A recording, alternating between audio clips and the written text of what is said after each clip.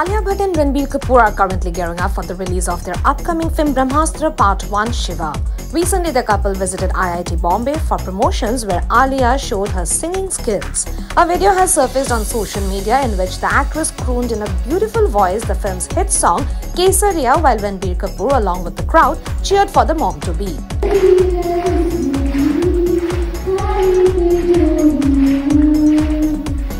However, a section of netizens went to troll Alia for her voice as one wrote, Toba Toba, kaan kharab kar diya. Another one wrote, Aapke bas ki baat nahi hai singing.